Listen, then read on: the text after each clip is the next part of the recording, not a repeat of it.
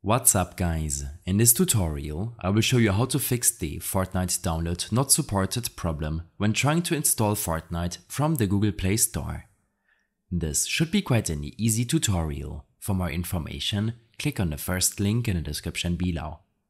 The download not supported problem is in most cases showing up when your Android device doesn't meet the requirements to play Fortnite. This can in some cases be easily fixed but you have less options when using an older device. First, you should make sure that you have enough available storage space on your device. In your device settings, navigate to the storage section. Here, ensure yourself that you have at least 4GB of storage left.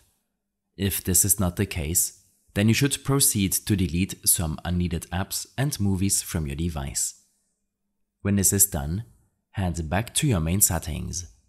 Under System, make sure that the Automatic Date and Time option is enabled. After making sure that your Android version is up to date, you can head back to the Google Play Store to see if you are able to download and install Fortnite to your device. In case the problem persists, then make sure to disable any VPN or proxy connection which could be running on your device.